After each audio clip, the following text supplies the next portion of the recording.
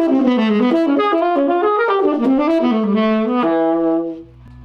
up guys, Tito Carbonelli here with Planet Horns. We're just gonna continue what we started on, uh, my last tip with the warm-up. Diatonic sevenths, if you remember, going up one, down the other like this. This is key of C for us.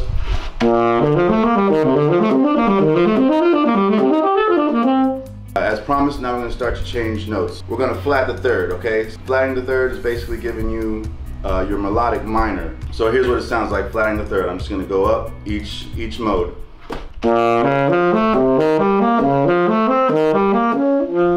Okay, that's just going up. Now, again, to kind of keep it interesting, get our fingers going because that is what we want out of a warm up.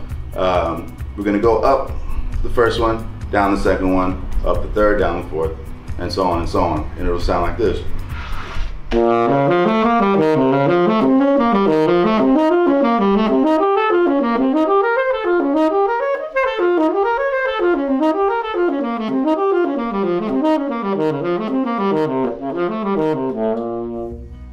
Stay tuned because for my next tip, we're gonna change a different scale tone to give us another sound and to, like I say, keep those fingers working. Hope you're having fun with these scales, you know, are like vegetables, you always need them. So post some videos of your own, tag us uh, at Carbonelli, tag Planet Horns, let us know you're working on these things. Have a great day, guys.